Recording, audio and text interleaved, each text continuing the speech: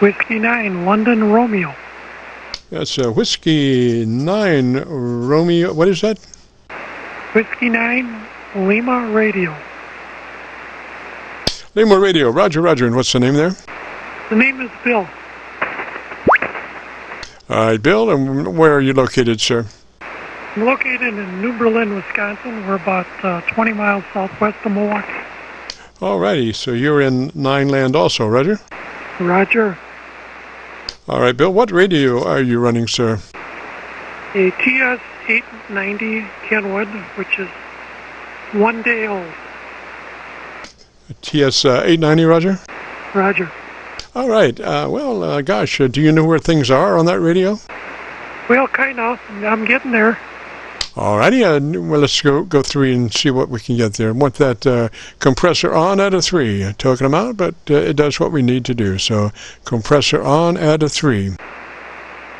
All right. We got the compressor on, and it's at, it says 30. I'm assuming that's three. It's about. Uh, um, I think that's okay. Over. Roger, so your input level is uh, 1 to 100. Is that a Roger? Roger.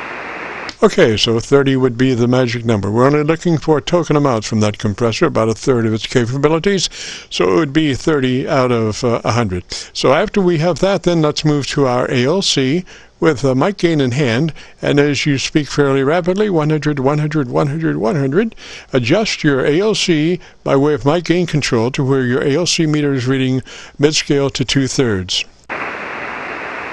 Okay, 100, 100, 100. Okay, we got it uh, two-thirds right there. Alrighty, and now tell me about uh, 10 to 15 seconds about your antenna system, and let me hear your audio. All right, um, let's see, are we working here? Hello. I think you lost your amp.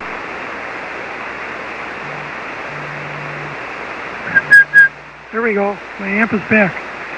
Um, we're running a uh, rotatable dipole at about, um, oh, I don't know, 35 feet.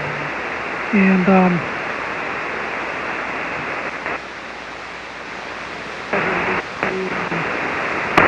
ACOM amplifier doing about 400 watts uh, into the rotatable dipole. Over. Uh, Roger, did that amp just kick off by itself, or has it? Does that do that often? Uh, I think my foot my foot came off the pedal.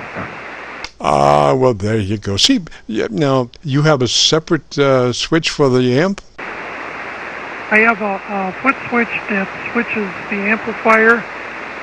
It's got two cords on it. It the radio and the amplifier. I haven't made up the cable yet to go from the radio to the amp. Ah, well, see, now that will be such a joy.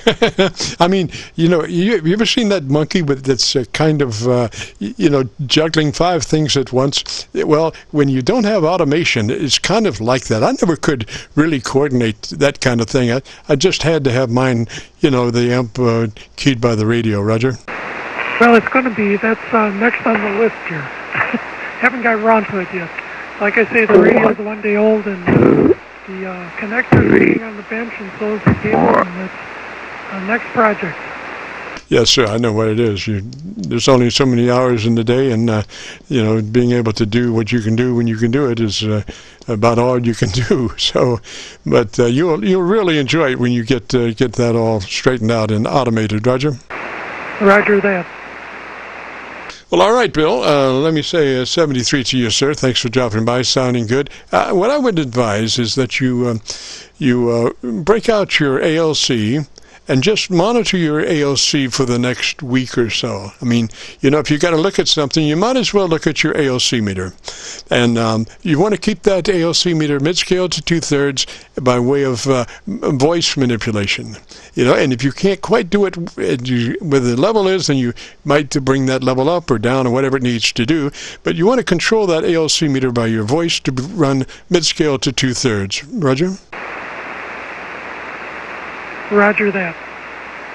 And uh, so, uh, you know, the more you do that, the more you're looking at that meter and associate the meter movement with what you're saying, you'll develop a relationship with that ALC meter that after a while you won't need to have the ALC meter on. You'll be, you know exactly what that meter's doing by the way uh, you're saying things, Roger?